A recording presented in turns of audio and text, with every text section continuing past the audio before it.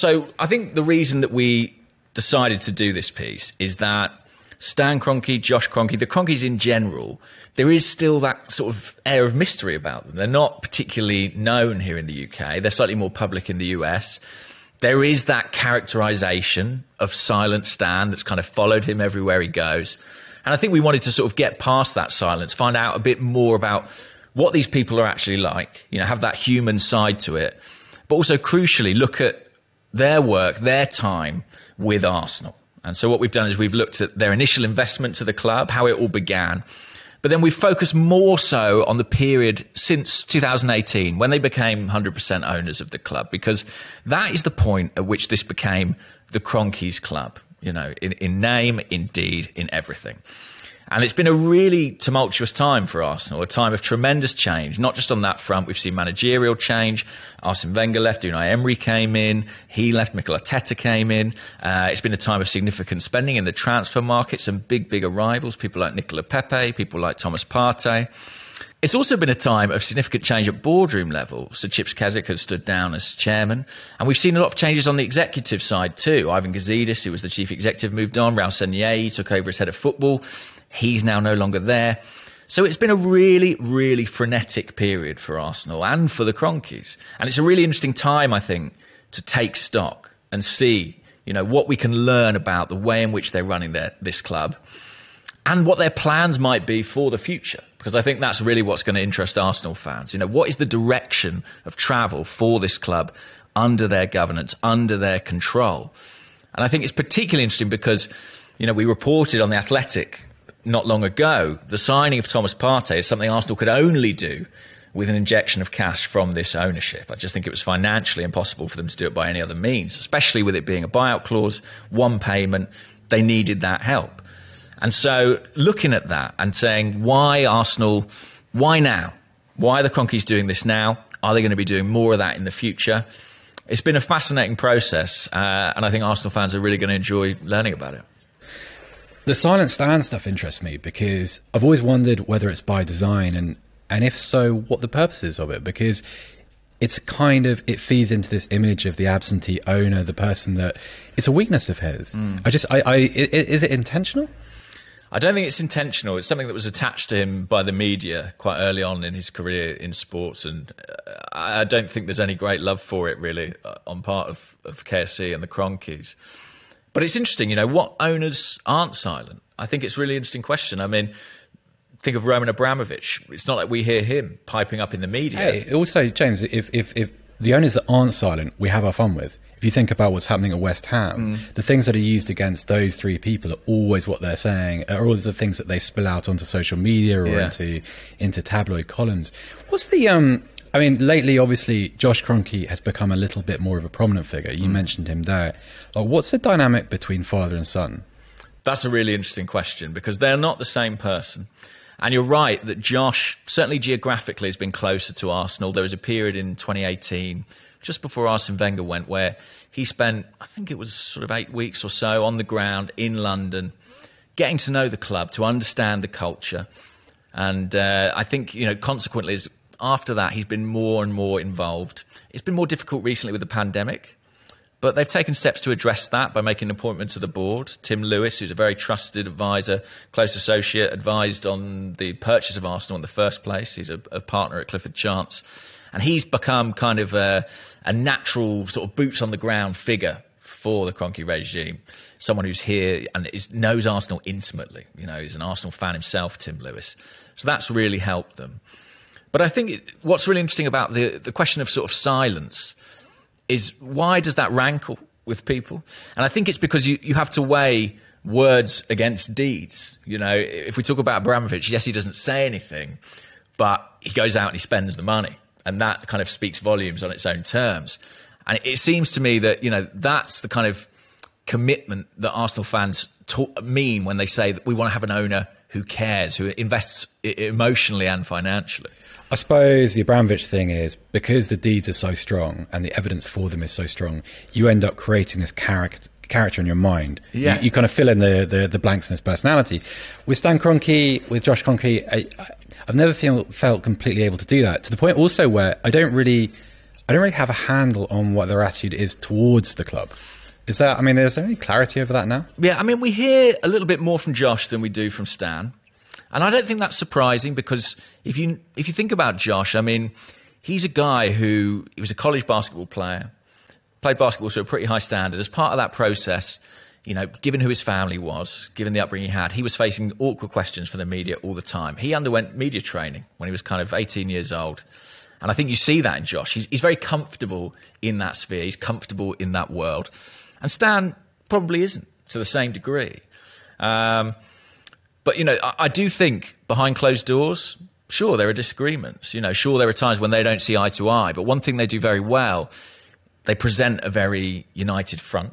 And, uh, you know, things that happen behind closed doors stay there. Uh, and when it comes to the issue of Arsenal, they always seem to be on the same page. And I think Arsenal is an incredibly valuable asset to them. There's so many reasons that Stan wanted to invest in Arsenal. Like if you think about it, his background is in real estate, really.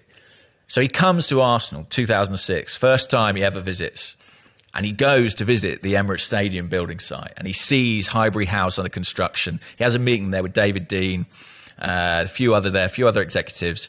They sit on kind of you know upturned buckets around a kind of makeshift table, and David Dean takes him on a tour of the Emirates, and you can just see in Stan's mind, as someone who understands real estate, as someone who understands sport, this is a prime, prime, prime opportunity for him. And you know, invested on a small stake, that's steadily grown. The ownership situation changed, it accelerated when Danny Fiszman died. And over time, the Kroenkes' commitment has been absolute. And I think at this point, really, if you look at their portfolio of teams and franchises, Arsenal have to be kind of the, the, the jewel jewel jewel jewel if you if you'll forgive the the mispronunciation in the crown I think with the LA Rams. And I think more so than the Rams Arsenal are the most international team that the Kroenkes have. There is nobody that they work with that has that kind of global appeal in, in, in Asia in Africa that Arsenal do. So I think it is a real focus for them. I think you're right that they are kind of characterized as being absent. But some of that comes down to the fact that the way they run their businesses, the way they run their businesses is they trust their executives absolutely. And, you know, there's good and bad to that. I think it all comes down to do you appoint the right people?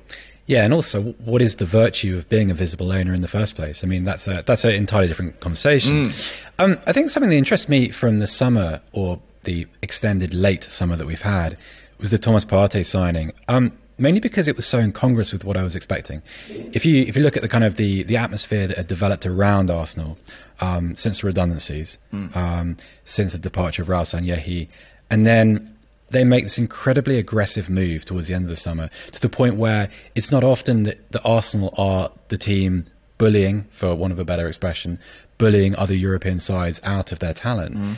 And it, it felt reflective of something. I don't know of what yet. Beyond just what he's worth to the side, it felt like the kind of signing you make when perhaps a, a, new era begins or a new attitude develops. Am I, am I wrong there? No, I think you're absolutely right. I think it was a statement. And in fairness to the ownership, it's something they said all along. When we have 100% control of this club, when it's truly ours, we're going to take further steps. We're going to make investments. And actually, in the summer transfer window, you know, they were looking at a situation, and we talk about this in the piece, where potentially they were going to be able to sign Thomas Partey and a player like Houssem Aouar if they could find a payment structure that would enable them to do both deals. As it happened, they couldn't make that agreement. They paid the release clause for Partey. It's a pretty punishing release clause, too. And I think that marks, I agree with you, it marks a bit of an era for Arsenal. It's a different way of doing things. I think the ownership sense that they look at the economic landscape, there are some market opportunities out there. And I think that's going to remain the case for the next, who knows how long, 12 to 24 months. I think clubs that have access to resource, that have financial backing in the way that Arsenal do via the Kroenkes, could maybe take advantage in this situation. Um, I don't think that means necessarily we're going to see signing after signing or, or, you know, a degree of spending that's completely alien because that's not the philosophy. Ultimately, you know, Stan, he is a businessman. He wants to run these clubs like businesses. He believes that Arsenal should be predominantly self sustainable. And it's a really interesting question. I mean, I think there's been enormous frustration from Arsenal fans about that. But if you asked Arsenal for the kind of owner they would want? I always think that's a really difficult question to answer because I actually think, you know, Stan is someone who doesn't get involved in football matters too heavily. He's not someone who's going to sort of reach, you know, he's not someone who's going to take the club off course by following a whim. He's someone who wants to make the business sustainable beyond him uh, and on, in its own right. And, and I think that those things, you know, whatever you may personally feel about Stan or his politics or anything else, you know, are quite commendable and probably probably attributes that fans would want in an owner. I reckon one of the reasons why that felt in Congress and why it was not a shock because mm. there have been rumblings all summer is because um, the Arsenal structure is quite nebulous because there's been yeah. so much flux and because uh, people have left the club without there being direct replacements for them. Um, you kind of the image is of a club that isn't streamlined, that isn't um, isn't functioning as well as it might do, which doesn't necessarily have the right people in, in yeah. the right roles. What is what does the hierarchy actually look like now beneath? Well, firstly, let's start with Josh Kroenke and what his day to day role is, um, and what happens beneath him between um, the ownership and Mikel Arteta. So, at the very top of the organisation, you have the ownership, right? You have the Kroenkes themselves. Then you've got the board. Both Stan and Josh sit on the board. As I mentioned, they've appointed Tim Lewis to sit alongside them on that board now. Uh, Lord Harris as well, I think, is increasingly influential. He's someone with a big, big business background who I think's you know helped the club be more efficient. Uh, below that, you've of course got the chief executive. Now we've just got one chief executive. We had the kind of twin heads of Raul Sanllehi and Vinai Venkatesham. Now it's just Vinai. And I think, you know, beneath that, you've got Edu and Mikel Arteta. And the way it's been characterized to me is they're sort of in, on a level pegging. It's a bit like the kind of general manager, head coach situation that the Kroenkes are more accustomed to in America, let's say, with their NFL team or, or similar. And I think, you know, the way things work is Edu's got a, a, very close relationship with Vinai. You know, they speak on an almost daily basis. Edu can go to the board if he wants. I think Josh is more involved with that process on a day to day. And they really only want to go to Stan with a pretty certain recommendation. They only want to go to Stan when they've got all their ducks in a row. And that's a mistake. Maybe certain Arsenal executives, certain Arsenal situations have they haven't always done that. You know, there's a, a great example we talk about in the piece. The summer of 2018, the Arsenal executive team, Arsene Wenger had just left, and they wanted a kind of transfer war chest to get the club back into the Champions oh, League. war chest, of course. And they went to st- meet Stan in America, uh, and that meeting didn't go too well, really. And I think there was a feeling, from what we can gather and what we understand, that Arsenal maybe weren't sufficiently prepared for that meeting, weren't sufficiently prepared for the grilling they might get from Stan. In what way prepared, though? I think Stan is someone who was like, if you're going to come here and you're going to ask me for 50 million pounds or whatever you it might better be. Better have your pie charts with you and you better have analysis. your pie charts all in yeah, a row. okay. Yeah, and not only that, I want to see how that plan is going to play out over the next two to three years. You know, it, I think Stan is smart enough to know it's not as simple as you give us X amount of money, we take you to the Champions League.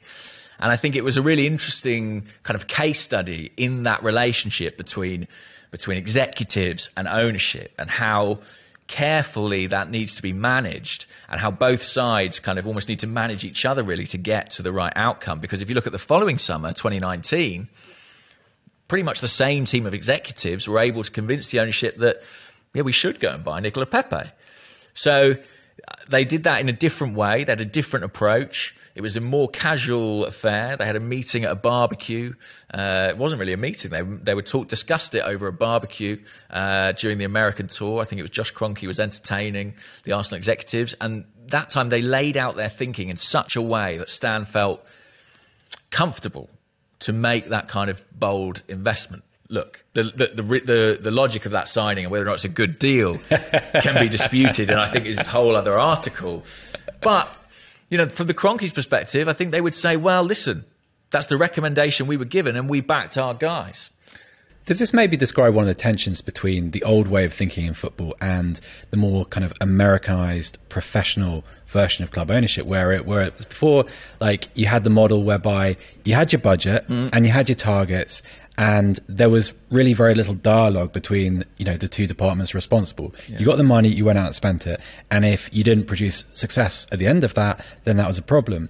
So with the Pepe example, like let's let's go back to that because it's an interesting transfer. Forget where he is at the moment as a player because it's still only a year in. Mm-hmm, mm-hmm. Where, wh- how did that work, and who were the voices that um, were so convincing at that barbecue? Well, Good question. And which pie charts were, were brought to support the case? Uh, what's really interesting, actually, is that we believe that among the Arsenal hierarchy at that time, this is summer 2019, there was some discrepancy about what sort of investment Arsenal should be making. Should they be spending that degree of resource on a centre back, or should it be a winger? And actually, it was Unai Emery, we understand, who really was passionate that he wanted a winger. His preference was for Wilfried Zaha. There were a lot of reasons that that deal was not viable. I think Crystal Palace they understood that to be relegated would cost them an enormous amount of money. So even if you're offering them 100 million for Zaha, it's like, is it financially worth our while? Consequently, you know, Arsenal were aware of Napoli's negotiations for Pepe. That deal, given the player's age, given the lower price tag, becomes more appealing. And ultimately, the executive team in that instance, they they pushed for the manager, the coach, as he was called at the time, Unai Emery, to get what he wanted. And you know, the ownership they back that. I would say, though, that there has been a learning curve at Arsenal for the Kroenkes. You know, they came into a sport that they had experience with, but not masses. And I think that since they took full ownership, part of the reason we've seen so many changes is that there have been these learning experiences. And the club, dating back to kind of 2019, have had concerns over efficiency of spending. You know, are we doing things right? Yeah, we're, we're, we're giving people the money when they ask for it. You go right back with KSE. They never said no to Arsene Wenger. He was just a more reticent guy when it came to spending. But, you know, I think they've learned something from that. And I think moving forward, they're trying to make those lines of communication all the clearer. So when you ask me about the new structure, you know, it's just Edu, Arteta, Vinai, and then the board above that. I think they see that and they see you know some of the changes they've been through this pandemic in terms of the redundancies in terms of the restructure as giving them an opportunity to communicate more effectively more efficiently with the technical staff. I mean i'll tell you a really interesting thing about the Partey deal is that before the Kroenkes agreed to kind of push the button activate the clause the technical director edu had to make a presentation to them in which he showed not only kind of why Partey was a good, good player, a good signing, but how he fit into a tactical identity, a tactical plan. Because if you think about a signing like Pepe, what wasn't always clear maybe was, well, where does this guy sit? How are we using him? How are we getting the best out of him? I feel like making the case for signing a Pepe type is a little bit easier because the the model of player that he is, the type of player he is, kind of speaks for itself. Like it's that it's that dynamic whether he is this at the moment is neither here nor there. The idea of Pepe is very sound. When you talk about presenting the need for um, Partey, is Edu there talking about um, the attribute deficiencies that exist in spe- uh, specific parts of the pitch, and here's what Granit Xhaka can't do, and here's why we need to have this player around him? Is it that much detail? Because it makes sense if these are football people having the conversations together. When you put the football conversation with the owner and executive, is that the, the easiest way of, of doing things? That's a really good point. And one of my sort of things that I was trying to find out, along with you know the other uh, members of the Arsenal team during this piece, is to what extent is someone like Stan football literate? Yeah, you know, exactly. And I, because it, his sport, really, his passion originally, like Josh's basketball.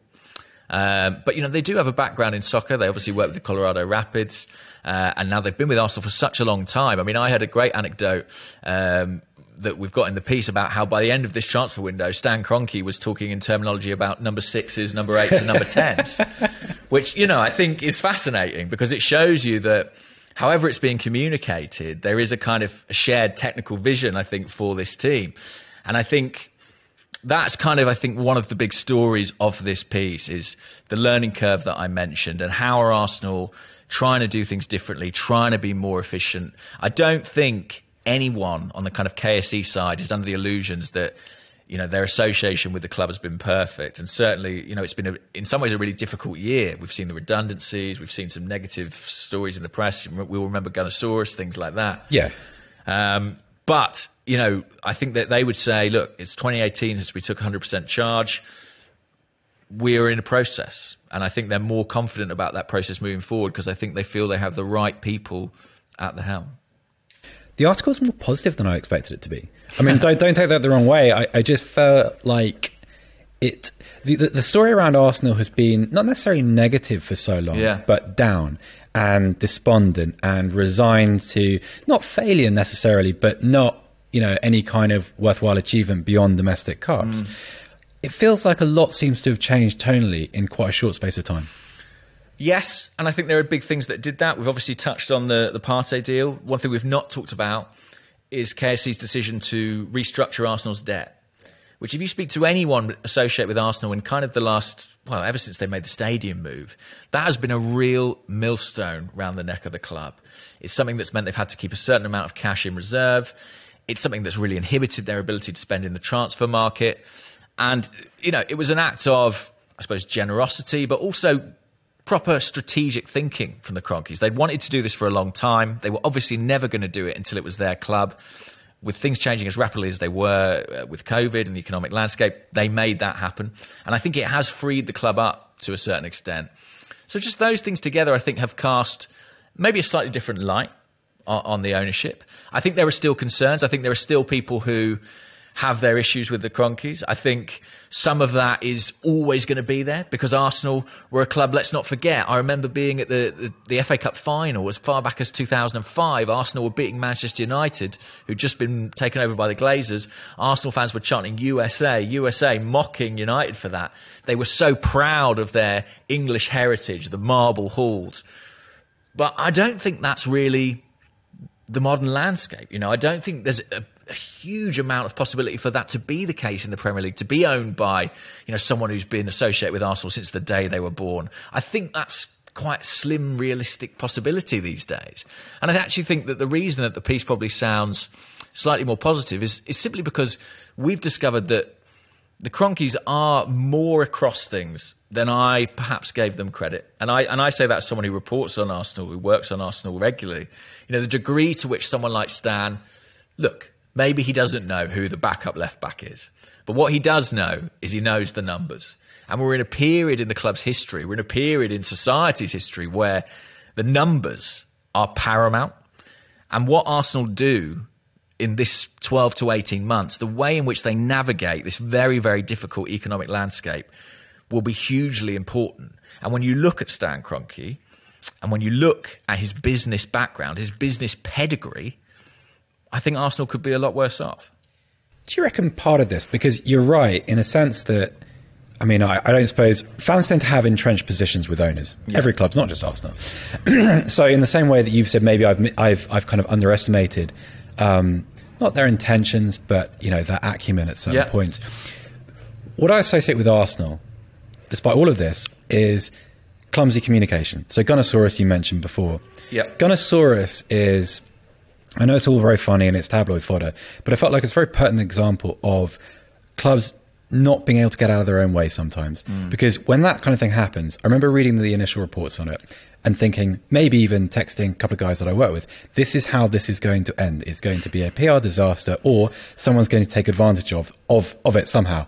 And lo and behold, I feel like, in a way, that's kind of symbolic of the Kroenke regime, and it, we've kind of come full circle here as well because it goes back to that Silent Stan thing. Absolutely. That kind of you don't really understand me, but at the same time, I'm not going to ensure that you do understand me better or that I communicate my my intentions as well as I could do. Yeah, and I think that you're absolutely right. And for Stan, PR is not a focus. His perspective is, well, if I get the numbers right, if the team wins, the PR looks after itself. I think that you've touched on something though that is important, which is that as supporters, we love to be told stories. Yeah. And you know, I think little nuggets, aren't they? The little, the, the easy to understand, easy yeah. to, you know, little anecdotes that we can use in conversation. And I think when it's really telling to me that when Vinai Venkatesham took over as chief executive after Raul Sanllehi's departure, he was renamed chief executive from managing director. One of the very first things he said is, I want to change and think about the way this club communicates with its supporters and communicates with the world. And I think that's really encouraging because I think, I think you're right. I think that, you know, the Silent Stan thing, it applies not so much to him personally, but to the way in which he manages this business and the way in which he communicates a vision for this business. Arsenal feel right now they do have an internal vision. And when they appointed Mikel Arteta, they were thinking about not just saving their season last season, but the next three to five years. And they feel that in Edu, in Mikel Arteta, in Per in the academy, in Vinai, they feel, and the ownership as well, they feel they have, you know, like a shared idea of where they want to be going. I think it's kind of incumbent on the club to communicate that. And I think that's what really wins you support because ultimately fans, they want to believe in something. So it's a very difficult balance because you never want to sort of set expectations so high that you can't match them. You never want to set up parameters by which you can only fail. But if you can lead people on a path, if you can tell people, look, this is the direction we want to head, then I do think you can win more support. And I think this piece, you know, I, I would never say that it speaks for the Kroenkes, but I would say that we've been able to illustrate and illuminate some sense of the direction they want to take the club in the future. You're right. Journey is that's the magic thing that you need as a fan because like when I think about my own team, I don't really care where they are on the table, and I don't really care whether they lost last weekend or are likely to lose next weekend. What I care about is this idea that me and them together are on some sort of journey towards something. It may be something you know other fans look at as being completely insignificant, but I, I want to feel the, the the kind of tangible progress, if that makes sense. And I feel like that maybe is what's changed at Arsenal because you have all these little things that you can buy into. Mm. Like you can we don't really know what Mikel Arteta is yet. There are encouraging signs, there are some worrying ones. But at the same time, you know, the idea that this is someone evolving and learning and adapting and, you know, he's got this impeccable CV and he's grown from perfect managerial DNA. Mm. And Edu, Edu, I don't really know anything about Edu as a sporting director. I don't know what his virtues are for the position. And yet I feel positive because there's an investment in him from above. And I feel that, like, you mentioned earlier, and we, we, we should touch back on this. Like, you talked about Josh Kroenke being the more PR savvy person. He is a media trained person, mm. whereas his dad had a kind of well, you know, money, figures, you know, that feels like part of this, a manifestation of a different kind of attitude. Mm. Yeah, I think so. And Josh has grown more senior, obviously, within his father's business and, and certainly in relation to Arsenal. And he arrives at Arsenal with decent experience working with some of the Kroenke's US teams too. So I think that is part of it. And you make a really good point about their investment in people. I mean, in Arteta and Edu, I don't think anyone at KSE, I think on the Arsenal board, is under the impression these guys are necessarily the finished article. And I don't think Arteta and Edu have that opinion. They are technical staff, very senior, very much trusted, but also expected to improve, expected to learn. And I think within that, as an Arsenal fan, you can find some optimism because you know they're investing in very promising people and they're giving them an opportunity to blossom. And listen, it may take time, and patience is a virtue that's hard to find in football these days. But I think I think one of the themes of this discussion and the themes of this piece is about trying, failing, and trying again. You know, you hire Unai Emery to replace Arsene Wenger, it doesn't pan out. You attempt an executive structure to, to succeed Ivan Gazidis, it doesn't pan out. So what do you do?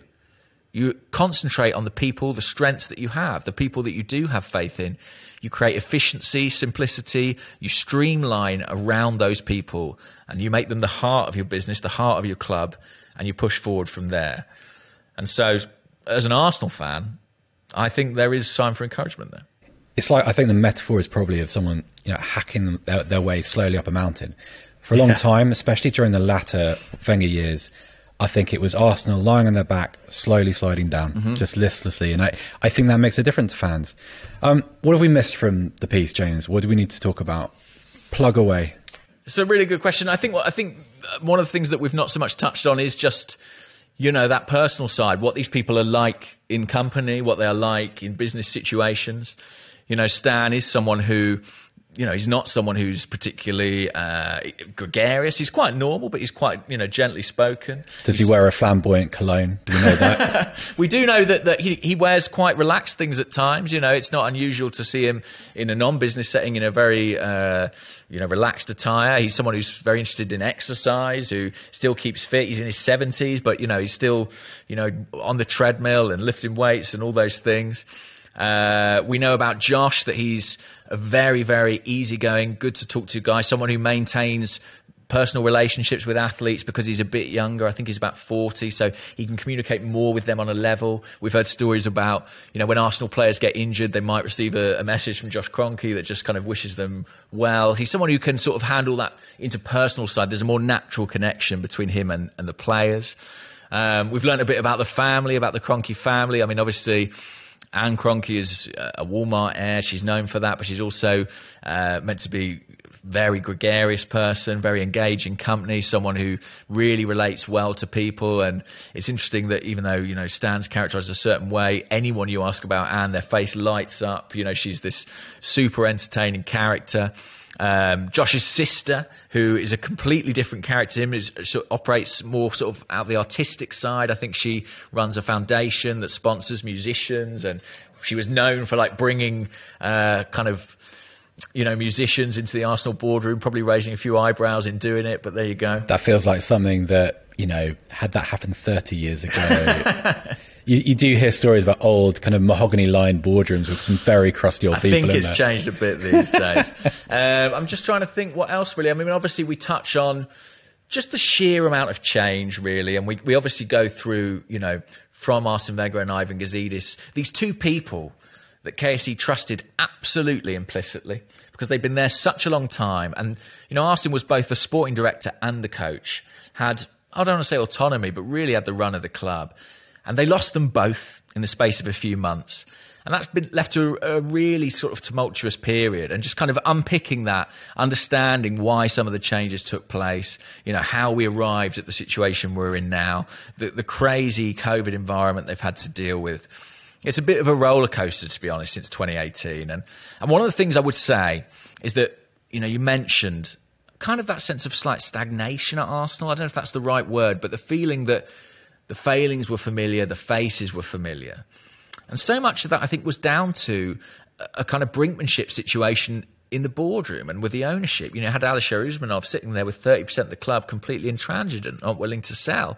And that kind of put the brakes on things. As soon as he went, Kroenke's had taken hold. And one thing you can't say about Arsenal is that they've been stagnant since. It's been constant motion, constant movement. And that's healthy. I think change, I think churn in any organisation and in any sports organisation tends to be positive. Um, I think we're going to need to take a longer term view. We're going to have to look at this over five years, 10 years to really understand it.